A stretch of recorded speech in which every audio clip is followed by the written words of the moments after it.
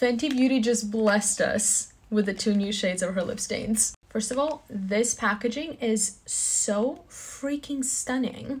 Second of all, these shades are so out of my comfort zone, it's like not even funny. This one's like more purple and then this one's more red. I feel like we should go for the one that's a little bit more red for this look. I only ever wear nude lipstick. Oh my god, this is gorgeous. Um, but having this stain on my lips for the rest of the day is a little bit scary to me. This is in shade Fuchsia Wife. I cannot get over how pretty this packaging looks and oh my god, that is so bright.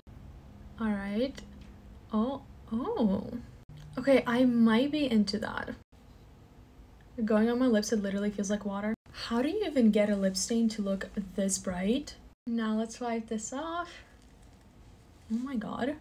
This is literally what it looks like after I wiped it off. Nothing. Why am I suddenly into bright colors?